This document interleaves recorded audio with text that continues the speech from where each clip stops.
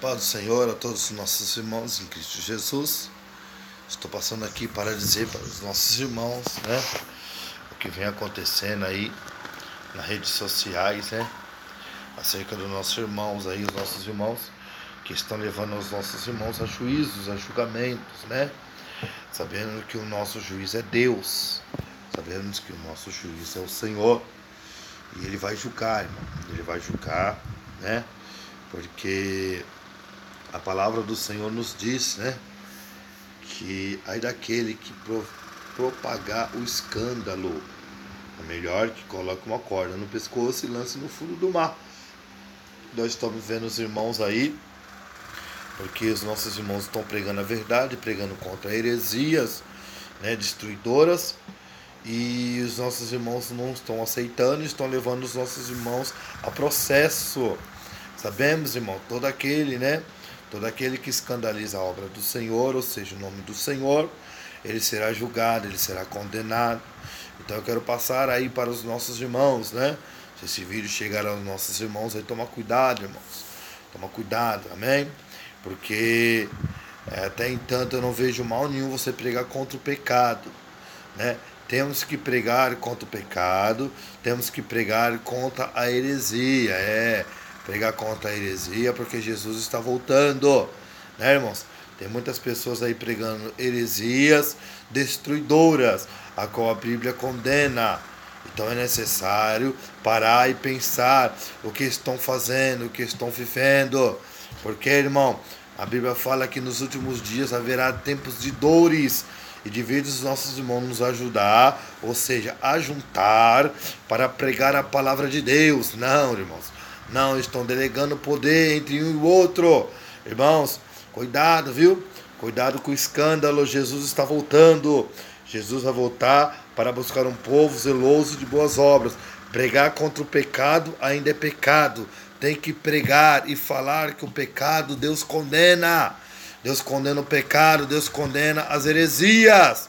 Então, irmão, vocês que gostam de levar os irmãos para julgamento aí, para júri, processar os irmãos, Toma cuidado, viu? Há um juiz, há um juiz que vai te julgar. Cuidado, há um juiz que vai te julgar.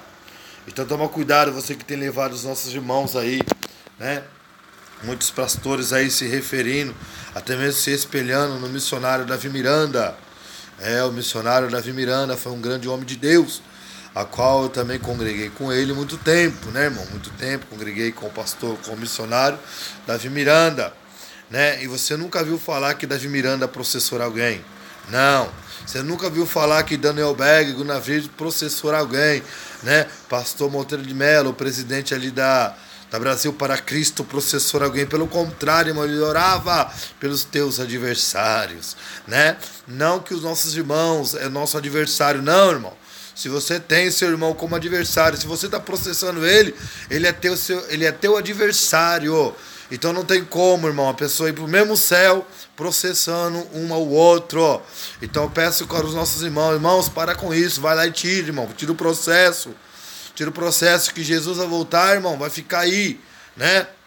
Vai ficar aí. Uma certa vez, uma certa vez, uma mulher chegou até mesmo o rei Salomão dizendo: "Olha, essa mulher pegou meu filho, que o filho dela morreu e agora ela quer pegar o meu filho. O que que o senhor faz?" Salomão ele pede uma espada, irmão. Ele começa, ele fala, pede a espada para cortar aquela criança no meio.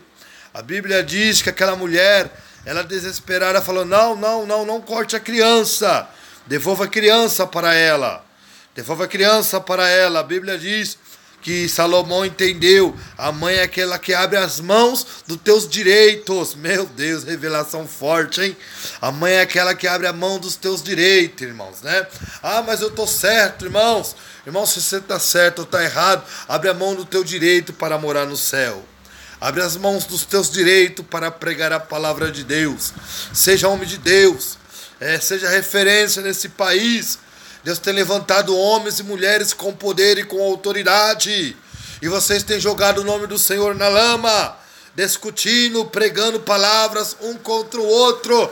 E sabemos que no livro de Efésios, capítulo 6 e verso 10 diz: a nossa luta não é contra carne nem sangue, amém? Então, os irmãos, fiquem com essa palavra aí, medite nessa palavra. Jesus está voltando. Compartilhe esse vídeo e seja abençoado pelo poder de Deus.